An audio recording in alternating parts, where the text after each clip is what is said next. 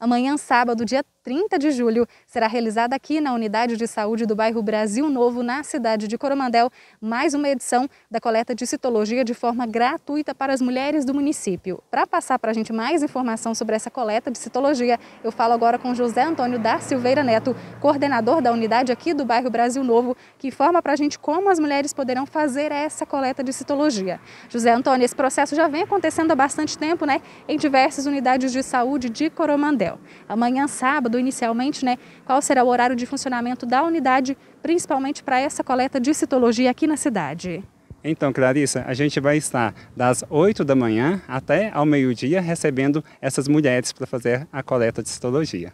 E falando um pouquinho sobre essa coleta, né, qual que é a idade mínima, a idade máxima e recomendada né, pela Organização Mundial de Saúde para essa coleta de citologia, para a prevenção também do câncer de colo de útero para essas mulheres que fazem esse acompanhamento diário, anual, semestral, né, como é que ele funciona também aqui na cidade? Então, a gente convida todas as mulheres, né, mas o Ministério da Saúde é, preconiza as mulheres de 25 a 64 anos.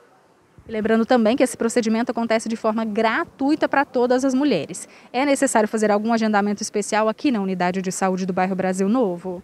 Não, não, Clarice. Então, a gente é, vai estar trabalhando com demanda espontânea. É só chegar, vai ter uma equipe né, de enfermeiras é, fazendo a coleta é, de citologia. Então, é, pode só, é só chegar e trazer o cartão do SUS, os documentos pessoais, para que a gente possa estar é, já preenchendo os papéis e, em seguida, realizando o procedimento que é o exame, tá bom? Serão atendidas também mulheres da zona urbana e também mulheres da zona rural de toda a cidade de Coromandel, José Antônio. Isso.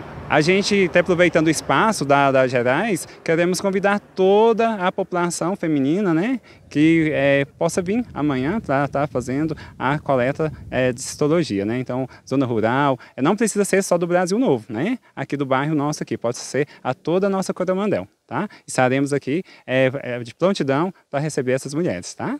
Certíssimo, José Antônio, muito obrigada pelas informações. Bom trabalho aí para vocês e toda a unidade amanhã. E lembrando você, mulher, amanhã aqui na unidade do bairro Brasil Novo, a partir das 8 horas da manhã. Clarice Bernardes para a Rádio Gerais FM.